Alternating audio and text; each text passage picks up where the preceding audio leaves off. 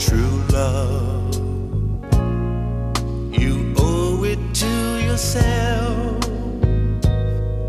to be happy. Take love and show somebody else what you feel. It's not hard to.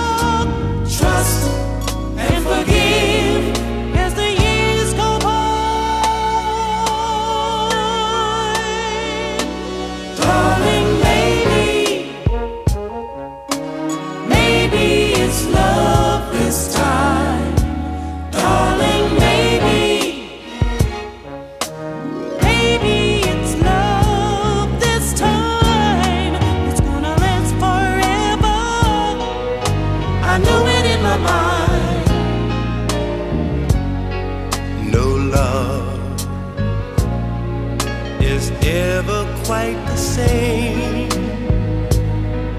when it's over. Our love